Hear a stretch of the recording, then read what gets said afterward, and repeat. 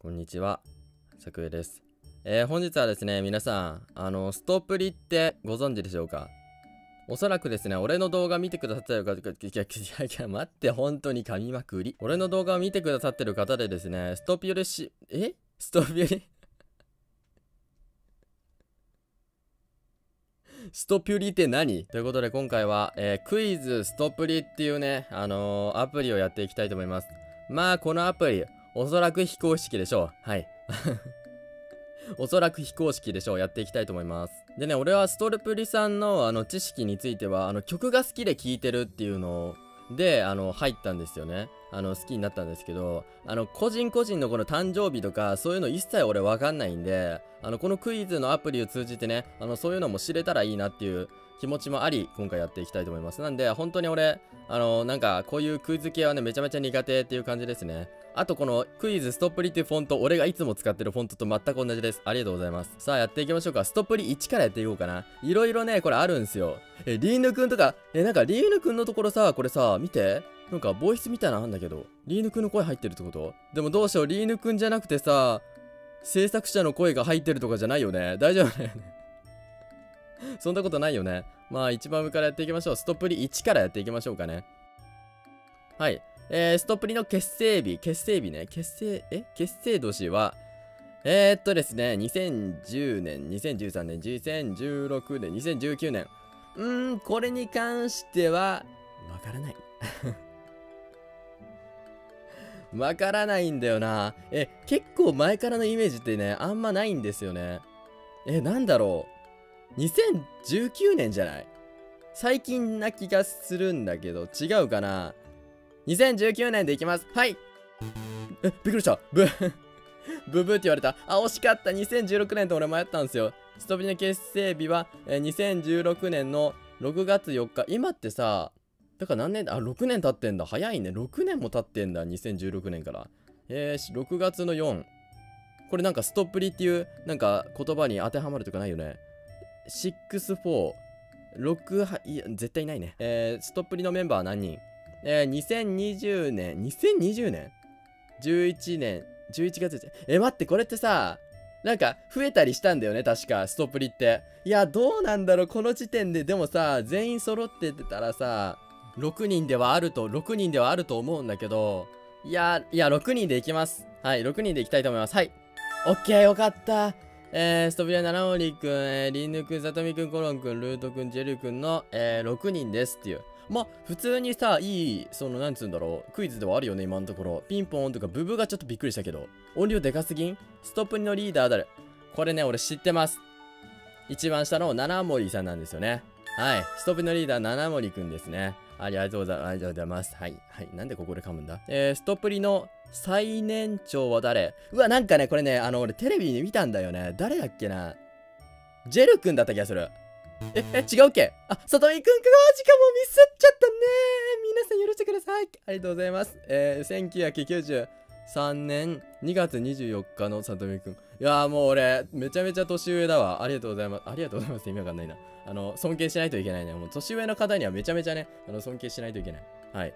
見ていきましょう。えー、最年少。うわ、これわかんない。うわ、これわかんないぞ。え、待って、リーヌくんか。待って待って待って待って。リーヌくんだったもん、これ。はい。え、えー、もうこれ全然違う。もう、マジかよ。1998年10月25日生まれのルートくんが最年少です。うわー、マジか。もう全然答えらんないじゃん、俺。はい。まあまあファン。いや、合ってるわ。まあまあファン。いや、その、俺、知識的に言うと、まあまあファンなんだわ。いや、これ合ってるわ。正解率40%。うわー、まあ。えっ、ー、と、あなたはストップリのまあまあファンと言えるでしょ。次はもっと高い正解率を目指しましょう。はい、ありがとうございました。9愛成功。毒毒ながるるる。初代なんね痛い大のどんだけ。え待って。これエラなエラなんじゃんこれ。ありがとうございます。カラフルステージ。カラフルステージ好評配信中。もうやってるよ。はいイメージカラー。これ多分一番簡単なんじゃないかなイメージカラーっていうのが。七森くんのイメージカラーえこんなん楽勝じゃない？なんか紫色の中でもさあのちょっと赤い紫とかそういうので出てきたらちょっと難しいと思うんだけど。いやもうこんなん楽勝じゃない？これ。紫色でしょ？はい。えこんなんわかるよ。絶対。イメージカラーは、えー、オレンジ。でも楽勝よこんなもん。コロンくん見見なくても俺わかるもん。コロンくんは。はい水色でしょ？えー、さとみくんはピンク色。でリーヌくんが あの問題出る前にリーヌくんはって言ってるのやばいね本当に。はい赤色でしょ？で真のファンさっきのまあまあファンは何だったんだ？あなたはストップリの真のファンですね。え、なんか 真のファンって、ファンはファンなんだよ。真のファンとかじゃなくて、ファンはファンでいいじゃん。真のファンじゃなくてもありがとうございます。正解率100%で。これやっぱ簡単だったね。何これ？こうすればモテるのか？え、すごいニコニコになってる。かわいいかわいいかわいい言われてるよ。めちゃめちゃ。え、声どうにかしろ？ちょっとさ、イメージカラー2があるんだけど、これさ、イメージカラーってもうクイズ出しようがなくない？ちょっと見ていい？気になる？ルートくんのイメージカラー。あー、え？楽勝じゃない？こんなん。え、黄色でしょ？はい。旧メンバー。え？旧メンバー？カンナチャロくんのイメージ？え、待って、わかんない俺。え、カンナチャロくんって、え？俺、俺ね、あの、昔から知ってたわけじゃなくて、あの、ルマから知ったんだけど、え、マジか。前の、前メンバーわかんないな。でもさ、色が被るってことなんてあるかな？え、色交代、色交代みたいな感じだったらあるんだけど、多分黒色ではないんですよ。おそらくね。黒色ではないんですよ。うわー、待って、既存の色だ。いや、既存の色って信じよう。既存の色で、コロンくんが交代したって考えて、水色え、イメージカラー？え、緑色？え、今いないよね、緑色。マジかージかわかんないね。全然わかんない。ありがとうございます。はい。えー、ケチャップくん。あれ？待って。俺、俺、この方聞いたことあります。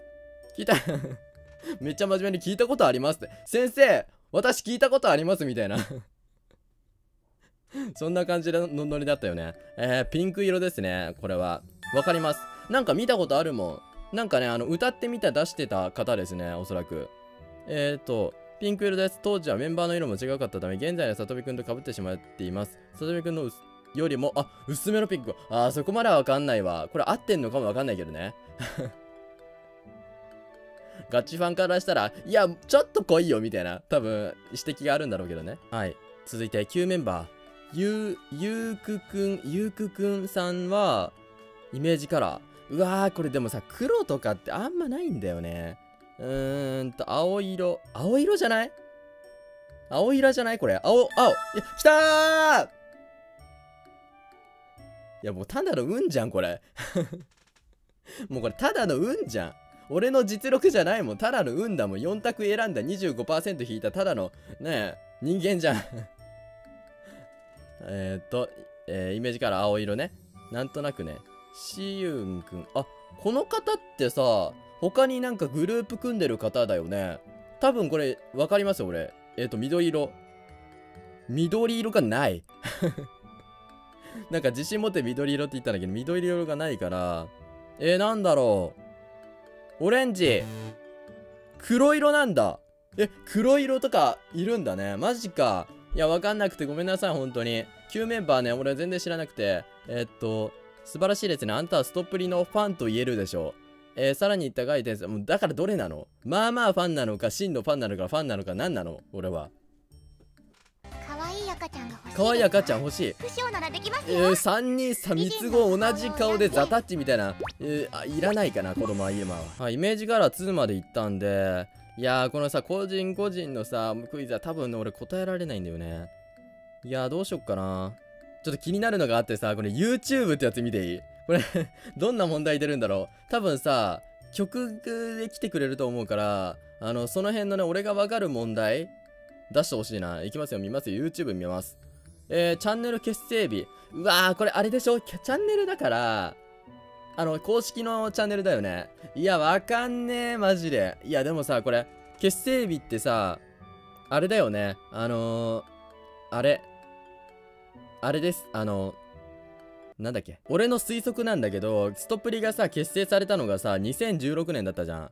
で、チャンネルも多分そのタイミングで作ってると思うんですよ。ネットで活動する方々たちだから。だと考えると、多分2016年。え、違うの？マジでわからん、これは。だって無理じゃない。こんなん無理じゃん。2016年に結成されたんだったら2016年じゃないの ?2 月の2日。あー、マジか。2月の2日なんだ。いやー、この辺わかんないな。えーと、初めて公開したオリジナル曲は何？待って、待って、これはちょっと待って。これはちょっと待って。これはちょっと待って。待ってね。ストロベリープリンセスフォーエバー。これ多分違うね。多分ね、大好きになればいいんじゃないか。おかえりラブなんですよ。おかえりラブなんですよ。なんで、いや、これどっちなんだろう。大好きになればいい。いや、いや、大好きになればいいんじゃないだ。多分これ。いきます。はい。 Strawberry Prince Forever でした。はい、えっ、ー、と、初めて実写 MV は、初めての実写。待って、実写か。あの、ストロベリープラネットでもないんですよ。あの、俺ね、あの、あれは、ナユタン星人さんのやつだったから多分違うんですよ。で、 Go Go Crazy。いや、これ絶対知ってるんだけどね。僕らだけのシャングリラは実写なんですよ。で、アク、アキッス。これちょっとね、俺まだ聞いてなくて。 Go Go Crazy まだ多分違うね。僕だけのシャングリラ。はい来たー初めて公開したのは、僕ら、僕だけのシャングリラです。はい、ありがとうございます。いやーし、来ましたね。はい、続いて、えー、っと、実写 MV。あ、もうこれ、もうこれ楽勝でしょ。だって、実写のやつってさ、アモーレミオ以外多分ないんだよね。 Next Stage とかも。アモーレミオですね。ありがとうございます。これ簡単だね。実写 MV3 めっちゃ実写に当ててくるじゃん。えー、光夢、ストリーマー、向こうへ、チェキラ。あ、もうこれ光夢ですね。俺わかんないんですけど、チェキラと向こうへとストリーマーに関しては、確かね、実写ではないんですよ。なんで光夢ですね。え？すいません。偉そうにして。